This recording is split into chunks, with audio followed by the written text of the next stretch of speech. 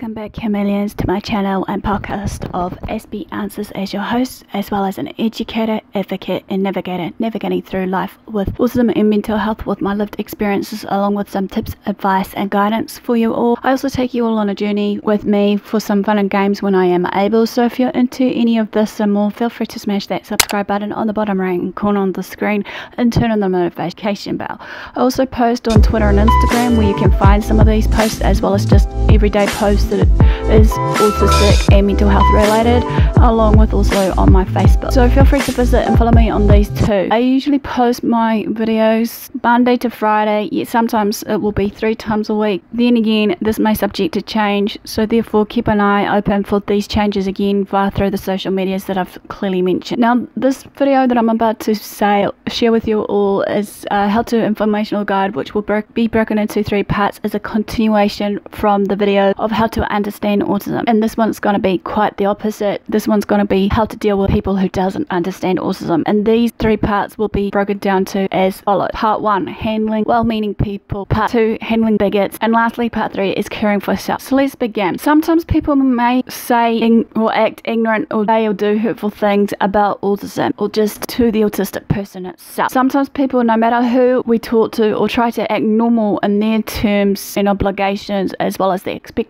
of the neurotypicals, or nowadays we've been hearing the term neurodivergent for some, seems to want us to be a certain way by the way how we should be speaking, thinking, acting, and so much more. We shouldn't have to feel this way. We should be able to be doing what we feel is right in our own heart and also throughout our day dealing with this everyday people to wear that mask. And as I shared, I've talked about autism and masking, which I'll link in the icon above me as well as in the description box with the timestamp so you can follow me through with it as well as this continuation video to post. So if you want to watch this after the one, feel free to do so. As we know, basically, wearing a mask for us autistic on a daily can be really detrimental to our mental health. We shouldn't have to basically feel a certain way or act a certain way, basically, because obviously this can hurt us more than people realize. They may not know any better, or they may not even care if they hurt anyone in the process being different. Whether you're autistic yourself, you love an autistic person, or you just think that kindness and accuracy are important, you can speak up and handle these. So don't be afraid to use your voice to speak out based on how you are being treated. The very first method is method one, handling well-meaning people. With a little maturity and grace, it's possible to teach people new things and encourage them to speak more kindly about autism. There are a lot of misinformation about autism today, and people may hear and believe things that aren't forever true. This doesn't necessarily mean they have a bad choice of character or just a bad character in general. Recognize that there's a good chance that the person isn't meaning to do any harm towards us. Most people believe in kindness, fairness, and inclusion of people who are different. Assume that this person does too, and just got a little mixed up about how to go about this. So a tip here is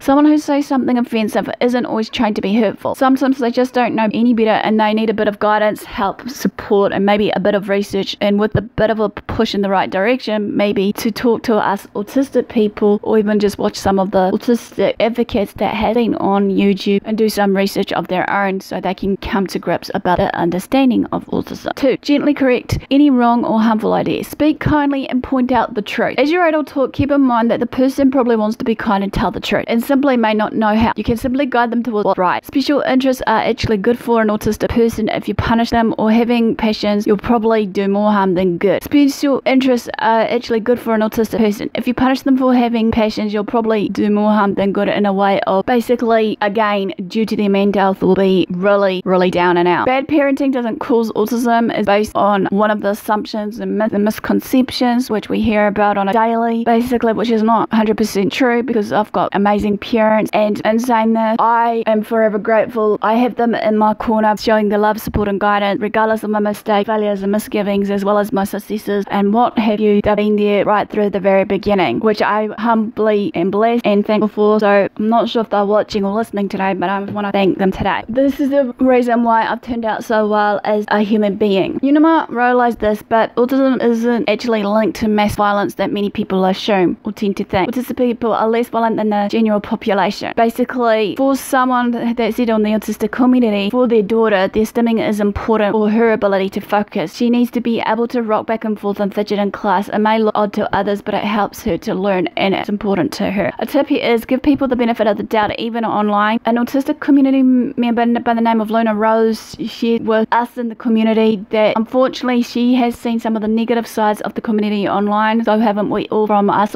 I think it's a result of collective trauma in our community that sometimes conversations become reactive and polarized and people lash out at someone who doesn't know any better but doesn't mean any harm. Know that someone who might appear like an enemy could really be just a potential friend for us who get the details a little confused and lost along the way. 3. Giving a face, saving out. Showing empathy and understanding can help the person feel less threatened and more willing to listen to you. So obviously I have talked about is autistic, empathetic or not, which I'll link in the iCard and in the description box below me with this as a series on empaths because obviously we are known to be empaths, but I'll share that more in the videos, obviously, that link. Validate their feelings of confusion or frustration while pointing them towards the truth. If you make it sound understandable that they might hear and believe inaccurate things about autism, they might be more willing to admit that they were wrong. But then again, you know, it's their choice in the making of what they want to read and believe or what they want to hear. So just don't forever be impatient with them. Just try to be supportive as much as you can. Here are some examples of ways to show empathy and help the other person to save face. You could say, I know it can be so hard to find good information about autism. People say all kinds of things and it can be difficult to sort out the right things from the wrong one. TV shows portray autistic people as childlike geniuses or jerks. They can make it harder to understand autism, especially if you haven't met any autistic person whatsoever. Your kid was just diagnosed last month, right? Of course you're worried and confused. The media treats autism like a death sentence, and that's scary. The media blames all kinds of things on autism. It can be hard to pick out on the truth, especially when they frame unfounded opinions as fact. That's confusing to anyone. So therefore, again, clearly do your research about it or ask an autistic first about how they live their lives with autism or again, as I said in the beginning, maybe to watch some videos as well that are autistic. You may have heard of the most popular one, Yolanda Sammy. You've got Dan from the Aspie World. You've got Bethany and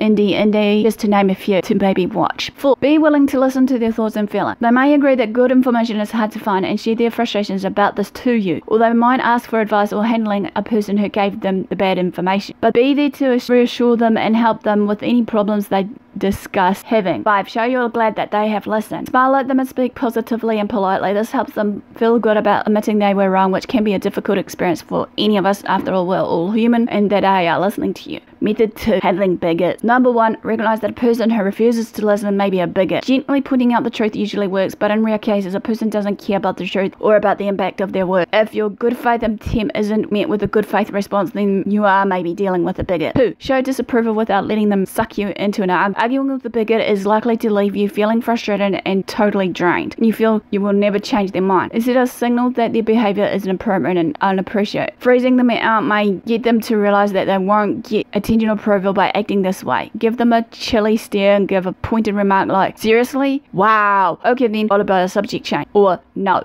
block and report internet trolls. Obviously, we know majority of the time we will have trolls that are based on the internet, and then obviously for these internet trolls, we know there are attention seekers who hopes to not be noticed by starting fight via online. You can discourage this behavior by blocking and reporting. This starves them out of the attention that they were so desperate, wanting, and craving, and they may even get off the certain sites that they are trolling you on. If your friends want to fight the troll, encourage them to freeze the troll out instead. Some websites are very lax about bullying bullying and bigotry and may do nothing. This isn't your fault, however, you did the best you could, so don't be forever hard on yourself. 4. Distance yourself from a mean person. If someone repeatedly makes ableist remarks after you've asked them to stop, as I mentioned, basically, ableism's playlist series will be listed above me and in the description box below me, so you can find out more to what I'm saying, but just briefly, something about, you know, ableist remarks after you've asked them to stop, then say something maybe about their character and you're not obligated to put up with them. Minimize the time you may spend with them if need be, cut them completely if it's not doing you any good in the way of your mental health and physical well-being. If they ask why, be honest about how their behavior impacted the relationship. Example, I've asked you more than once to stop making mean comments about autistic people and you still do it. I don't know why you do this. It makes me not want to spend time with you anymore. Method 3, last but not least, is caring for yourself. Remember that you are never obligated to provide a teachable moment. If you're tired or stressed or just not in the mood for doing emotional labor, you don't have to deal with an ignorant comment. You have every right to sigh and walk away. 2. Give yourself time and space to deal with any difficult feeling. Words can hurt, obviously, because words can hurt more in the mental state than the physical well-being of people just, you know, physically attacking you. You're allowed to be upset about someone saying cruel or hurtful things. Allow yourself to work through those feelings and be patient. Sometimes you may need to be angry or sad for a while before you can feel better. Talk to a good listener. Write in a journal if need be. Set aside some time to think things over. Write a letter with everything you wish you could say, then rip it up and throw it away. Ask a mentor how to handle any overwhelming feelings or even a counselor. 3. Surround yourself with positive people. Look for kind, caring people who are supportive towards autistics. Choose to be those be around those people who help you feel good about yourself, your loved ones, and the world. The autistic community online can be a great source of support. It's Just a matter of finding the right ones. Also, just to be in mind. Four, last but not least, remember to be kind to yourself. If you're an autistic person experiencing bigotry, it can get get to you or get you. You may even start to believe some of the things that people may have said. Be gentle and patient with yourself. After all, you are human and deserve to be happy and at peace in yourself as well as bringing out the best in people, including yourself. So this wraps up my video and podcast to deal with people who doesn't understand autistic. If you joined this smash the like. Again, subscribe to join me as a fan bar on this journey. And above me, there will be two videos on which will be all about autism help syndrome. Another one most likely is my most common uploaded videos. If you want to find out more, you can click above me for those. Also, where to find me? Spotify obviously is Aspie Answers, which is capital A, capital A. Patreon is my crowdfunding page right now. You can find me on patreon.com, Aspie Answers, basically. And for those of you who don't know what Patreon is, today, for those who are listening that are new, I have this set up for funding for future projects like this one of my podcast versus my merch that I've been designing. It's like a crowdfunding page or funding page for creators like me or content creators, music creators, whoever it may be that's seeking out funding to support themselves in a way of maybe say they need extra equipment for their cameras versus maybe their radio equipment if they were doing something similar like I am doing today or covering their rent, travel costs, what have you. And so in saying this, my merch site is spreadshirt.com life hyphen of hyphen n hyphen sb Feel free to become a patron to support this future project as well as many others that is in the works as of this time. Feel free to, you know, donate big or small with me in this journey of it. And also my merch obviously will cover the cost for this as well. So I'll catch you all again on the other side. Aspie signing out for now and bye.